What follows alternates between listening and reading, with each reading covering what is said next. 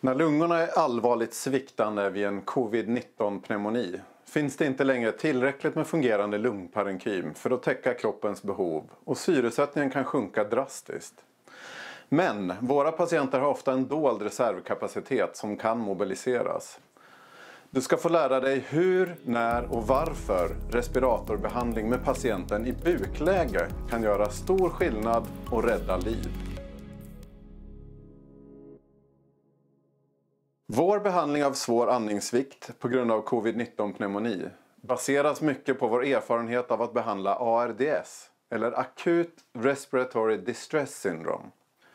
ARDS är just en syndrombeskrivning vid svår andningssvikt, oavsett orsak, och är en av de vanligaste diagnoserna inom intensivvården.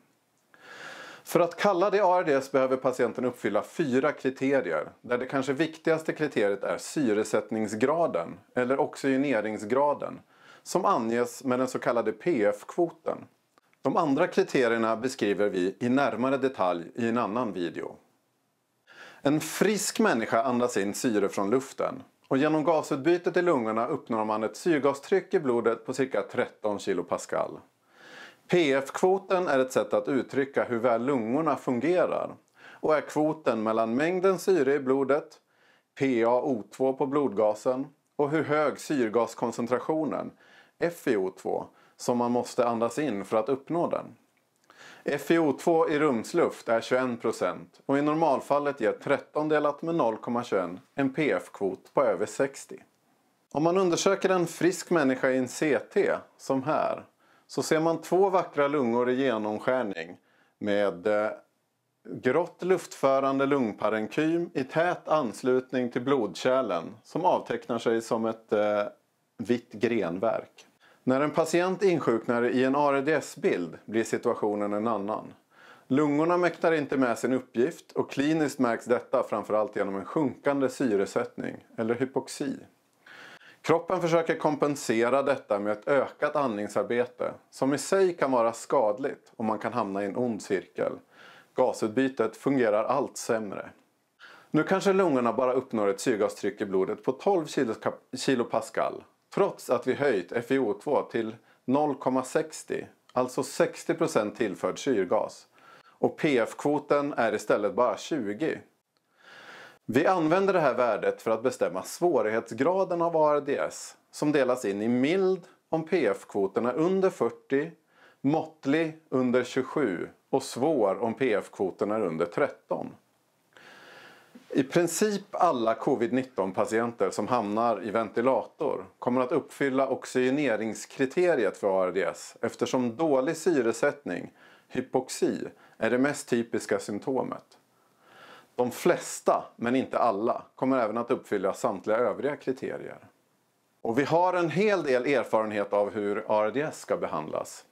Grundpelaren för måttlig och svår ARDS är ventilatorbehandling med lungprotektiv ventilation. Även det här berättar vi om i en annan film. Men om det inte är tillräckligt och patienten fortsätter att försämras kan man använda sig av buklägesbehandling. Det här kommer sannolikt att behövas göras ofta med covid-19 patienter. Enligt preliminära rapporter från Italien, England och USA kan så många som var fjärde patient i respirator behöva vändas på mage. Men varför är det här användbart? En typisk ADS-lunga har tydliga konsolideringar, alltså att lungan är sammanfallen på grund av atelektaser, avstämning, sekret och ödem. På en patient som vårdas på rygg samlas dessa på delarna närmast ryggen. Man kan tänka att de följer tyngdlagen nedåt. Här ser vi en typisk CT-bild från en patient med svår ARDS. De vita delarna av lungorna som utgör nästan hela nedre halvan är helt sammanfallna, konsoliderade och delvis vätskefyllda. Dessa delar innehåller ingen luft och kan därför inte bidra till gasutbytet.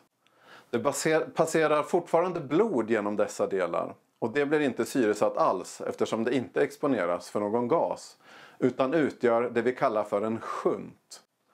Detta är en av förklaringarna till varför patienten blir hypoxisk. Även i andra delar av lungan gör tyngdkraften att blodet samlas i nedre delarna och samtidigt går ventilationen till de övre. man får en så kallad VQ-mismatch. Bara en liten del av lungan används för ventilation. Men vi kan använda tyngdkraften för att ändra lungornas fysiologi. Genom att vända patienten till bukläge kan vi få lungorna att öppna sig.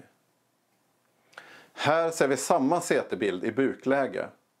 Trycket från hjärtat, som vi ser ned till i mitten, på lungorna kommer att minska.